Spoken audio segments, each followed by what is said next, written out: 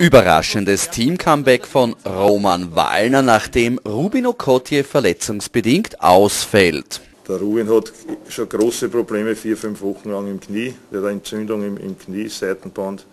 Äh, ist, spielt immer mit Schmerzen und es ist einfach nicht mehr gegangen. Er hat drei Minuten vor der Halbzeit gesagt, aus, es muss gewechselt werden. Ich habe gesagt, halt durch bis zur Halbzeit. Und also er wird sicher nicht zum Team fahren können. Er braucht eine Vasir-Injektionskur oder irgendwas, dass die Entzündung weggeht. Ist, glaube ich, nichts Ernstes, also weil es ja kein, keine Verletzung ist von, von Schlag oder von einer Verdrehung oder sowas, sondern ist einfach eine, eine Überlastung des, des Bandes. So.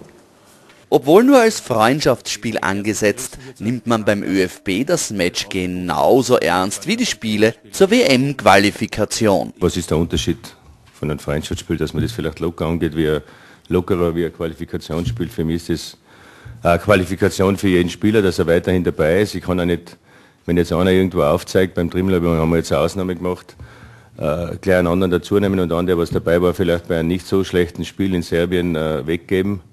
Es sind halt einmal mehrere Spieler, es kommen immer mehrere Spieler in Frage, das ist eigentlich gut. Aber dabei kann es natürlich auch passieren, dass der eine oder andere ausgerutscht. Im Endeffekt ist es so, dass jedes Spiel gleich wichtig ist noch dazu in der Phase, wo wir sind, aber äh, ich glaube, es gilt das Gleiche wie in den anderen beiden Spielen davor. Vielleicht mit der Chance, dass der Teamchef das ein oder andere probieren kann, was er vielleicht in einem Qualifikationsspiel nicht machen kann. Kamerun ist eine Mannschaft für mich unter die drei bis fünf besten afrikanischen Mannschaften. Jetzt kann man sagen, wir spielen gegen Afrikaner, aber ich glaube, dass ja jeder immer wieder dazulernt, ob das gegen afrikanische Mannschaften ist oder gegen südamerikanische wenn wir glauben, wir sind jetzt gut, weil wir in Serbien halbwegs gespielt haben, dann schaut es schlecht aus. Und wenn wir wieder Vollgas geben und da wieder anfangen, wie wir gegen Serbien eingegangen sind mit der Einstellung und auch gegen Rumänien, dann glaube ich, wird das ganz ein gutes Spiel. Nach den letzten Achtungserfolgen für unser Team sind wir auch gegen Kamerun der leichte Favorit. Bei Tipp 3 kassiert man für einen Sieg der Rot-Weiß-Roten den 2,55-fachen Einsatz als Gewinn geniale Idee, das musst du als Timmerseher reingeschlichen haben.